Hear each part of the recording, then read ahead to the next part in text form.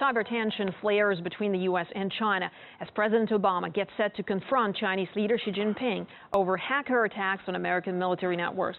Meanwhile, reports say Washington's launched massive preparations for an all-out cyber war. Well, the U.S. Department of Homeland Security is recruiting hackers, uh, opening up to 40,000 job vacancies for cyber warriors. The Obama administration pledged to boost spending on cybersecurity and raise its funding to $3 billion in 2013. 40 U.S. teams of cyber agents are to be formed, and 13 of them assigned to launch hacker attacks. RT's Gayane Chichakyan investigates. The cyber race between the U.S. and China is starting to look like a real arms race. It has its drills, its spies, and both sides accusing each other of cyber attacks. This June, China will be holding drills with special IT units within its army for the first time. The chief of the U.S. Cyber Command, General Keith Alexander, says the U.S. is now busy setting up 40 new teams of cyber agents that will both protect America's critical infrastructure from hackers as well as launch attacks against the country's adversaries. And so that there is no confusion as to their capabilities, General Keith Alexander says, quote, I would like to be clear that this team is an offensive team.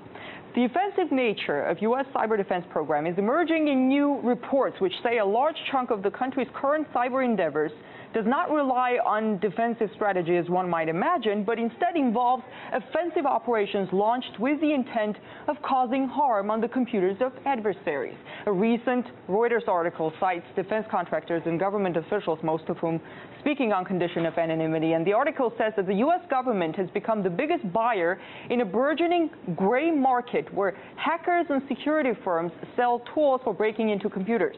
The U.S. has demonstrated its ability to carry out a cyber attack against a foreign country when they attacked Iranian nuclear facilities.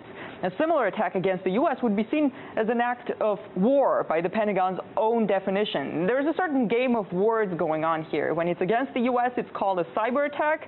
When it's the U.S. doing it, it's called installing software. But there would be no cyber race without spies. And the latest development here is that the Chinese have reportedly hacked into the Pentagon's most sophisticated weapon systems.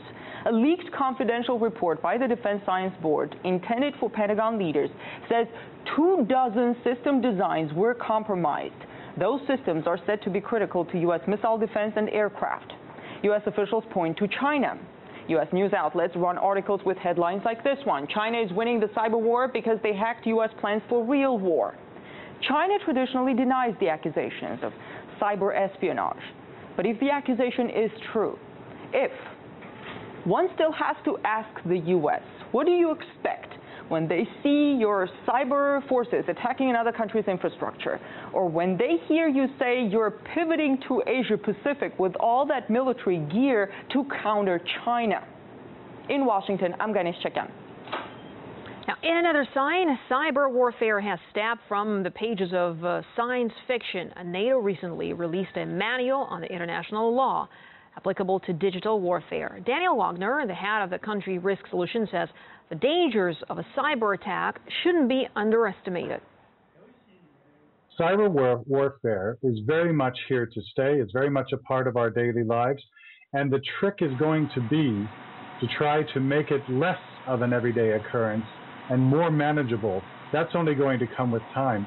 But right now, I think uh, the U.S. and every other country in the world is quite vulnerable to cyber attacks. Well, we've already seen that everything from uh, uh, nuclear installations in Iran to uh, the idea of uh, electric grids in the United States or uh, extremely sensitive defense and intelligence secrets have all been vulnerable to cyber attacks whether it comes from a government, whether it comes from a very skilled individual hacker. Uh, there was the case uh, just last year of Stratfor in the United States, which was a private company, which was hacked by a teenager who uh, managed to get through all the firewalls and basically uh, make his point clear. Uh, he was subsequently discovered, of course. But if this can be done by an individual, imagine what could be done on the part of governments. There are so many things that happen every day that we hear nothing about.